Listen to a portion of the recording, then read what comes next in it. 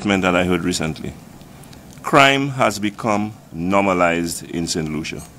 The words of a resident of Vieux Fort who made that statement while describing and discussing the crime situation as obtained especially in his hometown of Vieux Fort and the number of homicides that we are experiencing in over the last two years in particular and what we have seen in the first quarter of, of this year.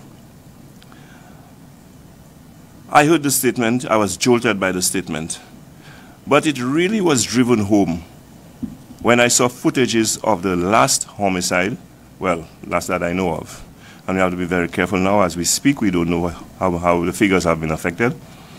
But it's my information that we are up to 30 homicides now in this country, a startling figure in less than four months. And we are seeing footages of the last homicide, number 30, and of course that's official figures.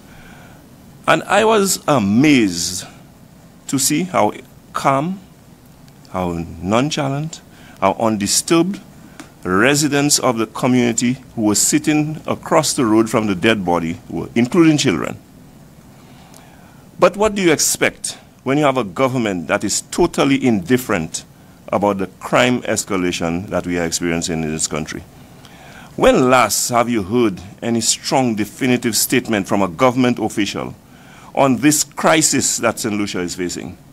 It is a crisis. Things are out of hand. The criminals have taken control. But it doesn't seem to be alarming to the government. It doesn't seem to affect them. It doesn't seem to, to stimulate them to take any action, any decisive action to prevent and avert the occurrence of crime that has become all too often. Every morning, the question is, any other dies, died? Anybody else was killed? If the answer is yes, we will just move on as if it is normal, as if it is, you know. I mean, we have to ask ourselves what kind of country are we leading right now? What kind of situation are we degenerating into?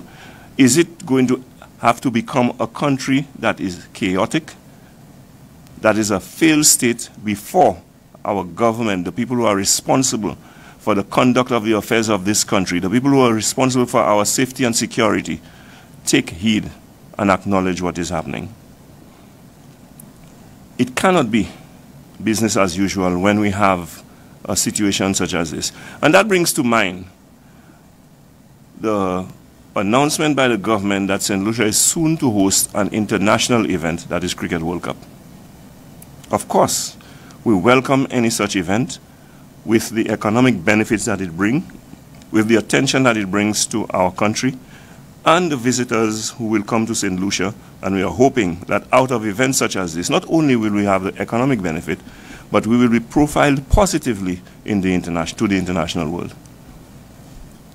My fear is, given the current situation as it exists today, do we want to put the international spotlight on St. Lucia and for us to have a major disaster like what transpired Independence last year, like what transpired Easter last year, like what transpired a few weekends ago. That can be so deleterious to the efforts that we have been making in terms of our advertisement, our marketing for tourism. What if a visitor is caught in the crossfire of what is taking place in St. Lucia today? I ask those questions because those are pertinent, relevant questions. It is not far-fetched. I ask those questions because today it appears that our police are so stretched that they cannot deal with curbing the crime situation that exists now. What happens when we will have to divert police resources to this international event? What happens in terms of manning the streets and communities of St. Lucia? Are we ready for the possible consequences of hosting an international event at this time. Our government must give us the comfort by telling us what measures are going to be put in place, what measures are going to be taken, because I'm saying now, we must take into consideration the potential disaster that can come out of the situation if we are not fully prepared and equipped to host. And I'm talking about the, the aspect of security. St. Lucians must take this seriously because the criminals, under normal circumstances, are having their way. They will be mindful that our police attention is diverted during the event, and God knows what will happen then. Or is it, as the gentleman from Vieux Fort, the resident of Vieux Fort, stated, that crime has become so normalized that it does not matter?